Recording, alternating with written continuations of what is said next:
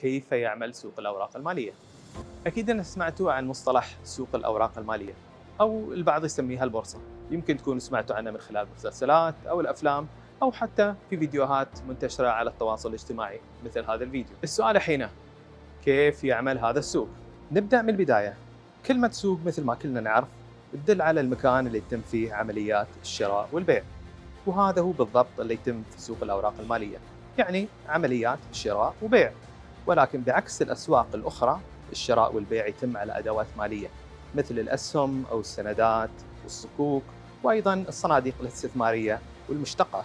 هذا التعريف ينقلنا للسؤال الثاني ألا وهو كيف يعمل سوق الأوراق المالية؟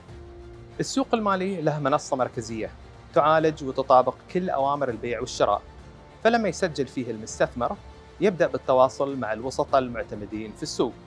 ولما المستثمر يقوم بإصدار عمليات وأوامر بيع أو شراء يبدأ هني دور الوسطاء في تنفيذ هذه الأوامر والقيام بعملية البيع أو الشراء نيابة عن المستثمر.